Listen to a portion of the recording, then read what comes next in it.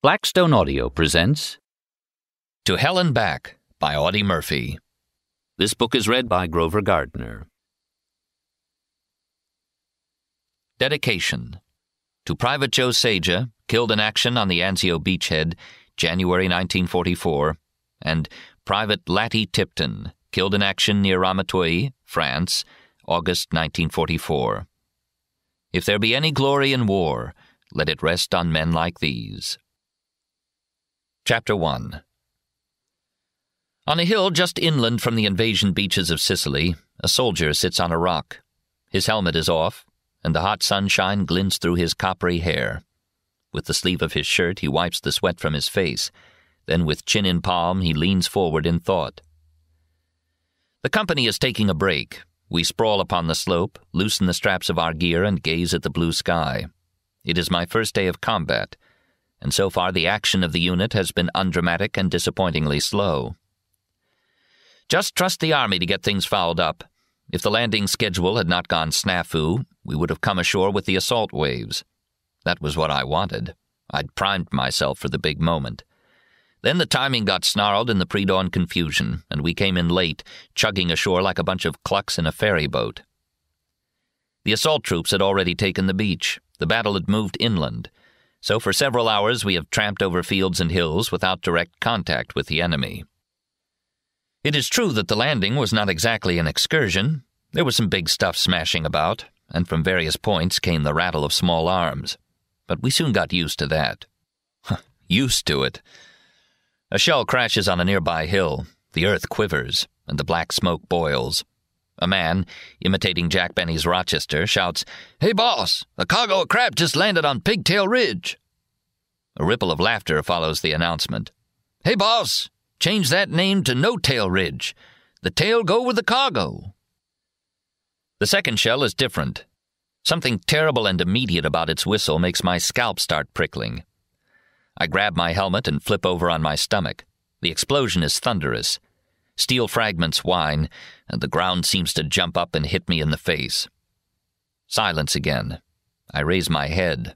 The sour fumes of powder have caused an epidemic of coughing. Hey, boss! The cargo!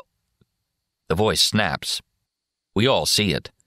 The red headed soldier has tumbled from the rock. Blood trickles from his mouth and nose. Beltsky, a veteran of the fighting in North Africa, is the first to reach him. One glance from his professional eye is sufficient. Turning to a man, he says, Get his ammo.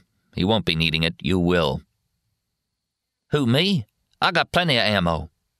Get the ammo. Don't argue. Snuffy Jones does not like the idea at all.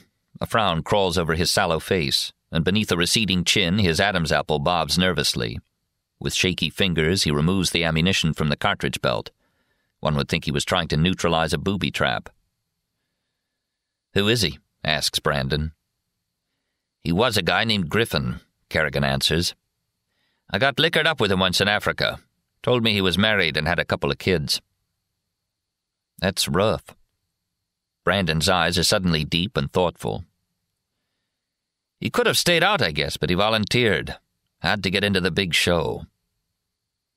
Novak, the Pole, has been listening with mouth agape. Now his lips curl savagely.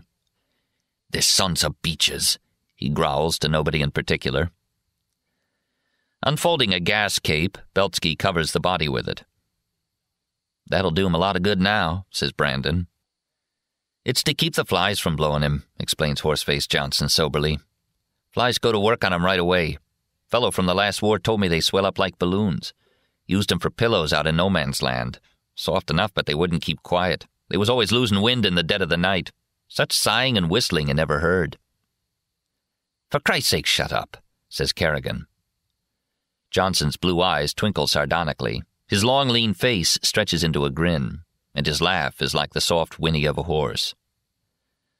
Don't let it get you down, son. Used to be skittish myself till I worked as an undertaker's assistant out in Minnesota. Took my baths in embalming fluid, slept in coffins during the slack hours. Grave error, Damn nigh got buried one day when I got mistook for the late departed. Shut up. It's the dying truth, son. Then why don't you get hooked up with a body snatching outfit? You look like a natural for the buzzard detail. Why, you know, son, the Army wouldn't be guilty of giving a man a job he knowed anything about. Got tired of the racket anyhow. Couldn't argue with the late departeds. Whatever I said, they was always dead right. Oh, for Christ's sake, mutters Kerrigan pleadingly. Okay, men, says Beltsky. You've seen how it happens. Maybe you know now this game is played for keeps. Everybody on your feet. All right, there, what's the matter with you? Me? drawls Snuffy. I'm getting up. Just give me time. Snap two. We hope you enjoyed this preview. To continue listening to this audiobook on Google Play Books, use the link in the video description.